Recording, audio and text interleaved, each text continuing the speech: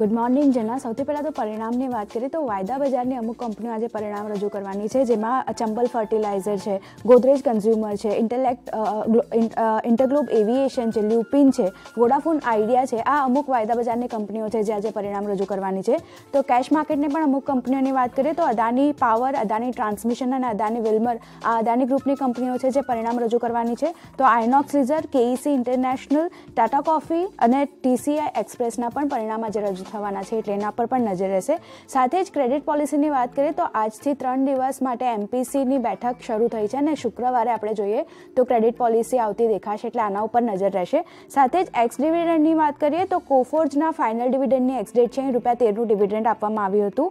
એની સાથે એબાઝ ઇન્ડિયાના ડિવિડન્ડની એક્સડેટ છે કિર્લોસ્કર ઓઇલના પણ ફાઇનલ ડિવિડન્ડની એક્સડેટ છે. તો મારુતિ સુઝુકીના પણ ફાઇનલ ડિવિડન્ડની એક્સડેટ છે રૂપિયા સાહીઠનું ડિવિડન્ડ આપવામાં આવ્યું હતું. એટલે આના ઉપર નજર રહેશે. આગળ વાત કરીએ તો આજે ઓપેક પ્લસની બેઠક થવાની છે. સપ્ટેમ્બર માટે તેઓ ઓઇલ ઉત્પાદન વધારે તેવી શક્યતા દેખાઈ રહી છે. પણ મોટાભાગના જે ઓપેક સભ્યો છે તેમની પાસે સ્પેર કેપેસિટી નથી એટલે ઉત્પાદન વધારવું એ થોડું અઘરું થતું દેખાશે, પણ આજની બેઠકમાં શું નિર્ણય આવે છે તેના ઉપર નજર રહેશે.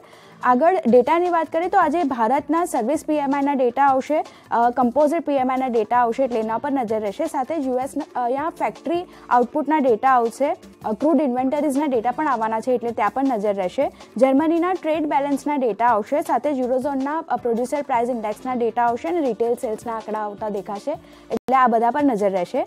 ઇન્ડિયન ઇન્ડિયન બેંકની વાત કરીએ આગળ, તો ઇન્ડિયન બેંકની લોન દસથી વીસ બેઝિસ પોઈન્ટ સુધી મોંઘી થઈ છે. આપણે અગાઉ જોયું છે કે એચડીએફસી અને પીએનબીએ પણ તેમની લોન જે દર છે તેમાં વધારો કર્યો છે. એટલે હવે ઇન્ડિયન બેંકના પણ દર, જે નવા દર છે તે આજથી લાગુ થતા દેખાશે. એટલે આ એક ઇવેન્ટ બનતી દેખાઈ રહી છે.